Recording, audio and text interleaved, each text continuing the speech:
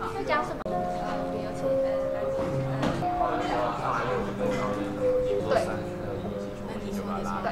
今天记者会开始，首先将近三十多位跟我们一样热爱表演，或是有想要不一样生活体验的伙伴来参与这次的活动。这些活动都让我们更进一步了解剧场。进行一连串的活动原因是为了将最后这出戏呈现出最完美的样子。不，没有烦恼，在地球上遭遇的一切不愉快，在那里都不会发生。那是一个充满崭新生活的新世界。在那里，我可以交到很多新朋友吗？那里的人都很和善，你一定可以交到新朋友的。那在那里，我可以完成我的梦想吗？在那里，你可以实现任何你想完成的事。那在那里，我可以不受其他人限制的打电动吗？可以的，在那里你可以做任何你喜欢的事。在那里，我可以遇见我的家人吗？总有一天会的。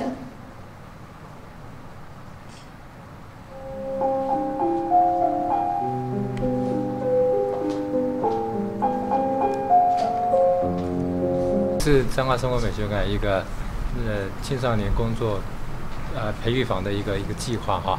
那其实彰化生活美生活美学馆因为有一个小型的那个表表演的剧场，那这个其实是蛮适合作为一个资源哈，那提供给一些特别是青少年朋友一个作为一个呃文化创作或者是文化实验的一个场域。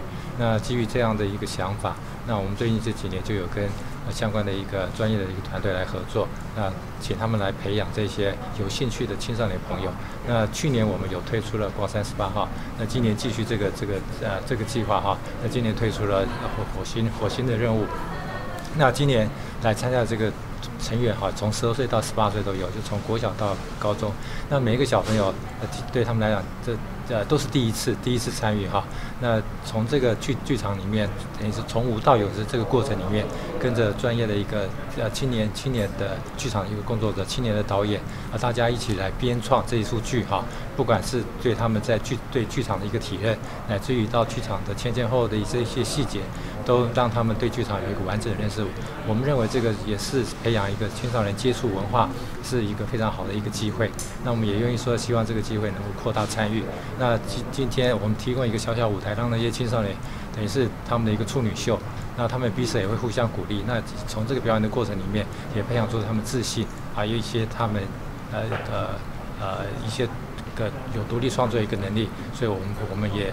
乐见这样的事情发生。好，我们是平蓬草儿童剧团，今年很高兴，就延续去年我们跟国立彰化生活美学馆这边合作了青少年剧场表演艺术人才的培育。那这个礼拜六个礼拜天，他们就要在。国立彰化生活美学馆的 V 二实验剧场，还有台中港区艺术中心演出。那经过三个月的培训，然后一起经历了看演出，还有到魏武营去参访，终于要把培训的成果来展现给大家。请大家来给这一群努力认真的青少年鼓励，跟我们一起上火星。十一月二十一号下午两点半到三点半，还有十一月二十二号一样的时间。在国立彰化生活美学馆的 V 二实验剧场，还有台中港区艺术中心的演艺厅，欢迎大家一起前来看戏。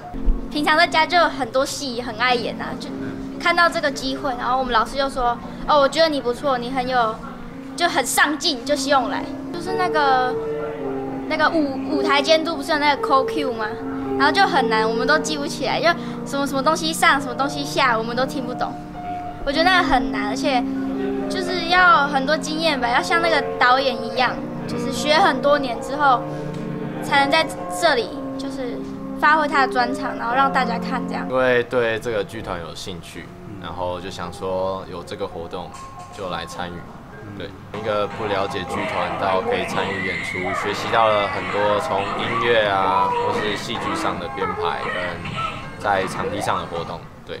这次的戏里面最主要是呃取材于五个任务或者是一个五个故事，而总共有五个主角。这五个主角他们想要呃因为对日常生活或是对自己的一些目前的现况有所不满，所以对于想要离开地球而到一个火星，或者是到一个呃不是现在生活状况，不是一个当下的一个生活困境下所展开一个新生活的一个向往。而在这个前往火星的过程之中，在这五个角色他们所面临的故事，他们面临的挑战，或是他们如何去解决自己所遭遇的问题，在这出戏里面，我们都可以看到的一些成压力同柴，课业压力，总是念书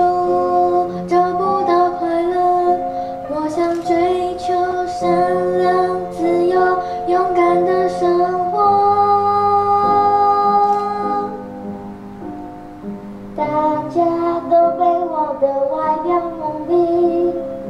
视如冷酷自我放逐努力表现却总被嫌弃。我想拥有真心幸福与家人怀抱。